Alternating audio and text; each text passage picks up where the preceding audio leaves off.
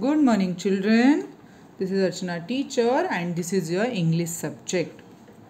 Today we are going to learn Tom and Mick story part 9, page number 32. Okay, so let us start with new words. T E D TED, V E R Y very, T I N Y tiny, B O W W O W bow wow. Let us start. L double O K look, A T at T E D TED, look at TED. S A Y S says Mick, M I C K Mick. See, this is Mick. This is Tom.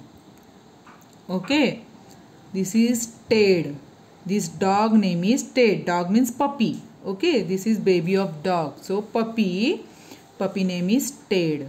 Okay, see, Ted is the name of this puppy very का मतलब है ज़्यादा okay? Tiny का मतलब है छोटा। और बाव वाव बाव वाव यानी पपी जो साउंड करता है ना that is bow wow okay? So look at Ted says Mick next T E D Ted I S is a P E T pet P U P pup Ted is a pet pup pet यानी हम जब घर में baby कोई भी animals रखते हैं ना that is called pet okay so ये टेट जो है, वो पेट पप है.